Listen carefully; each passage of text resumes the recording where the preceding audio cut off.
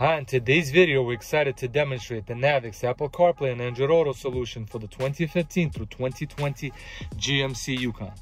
If you've been looking to add CarPlay and Android Auto to your vehicle, we have a great solution for you. Now we'll go ahead and demo this unit. Let's press the home button twice. We've accessed CarPlay and Android Auto. CarPlay can be used wired and wireless, Android Auto wired only. So let's go through, through some of the favorite apps. Let's go to Waze first.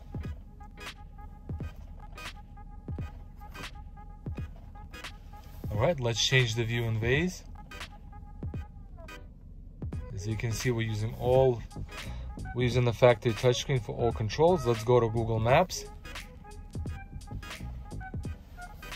All right, let's ask Siri for help. Let's find something using Siri. Siri, show me the closest Dunkin' Donuts.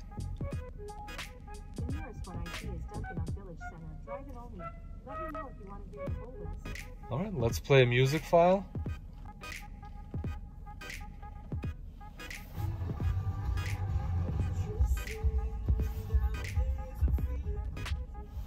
All right, so there you go. If you have a 2015 through 2020 GMC Yukon, we offer a solution for your vehicle to add CarPlay and Android Auto.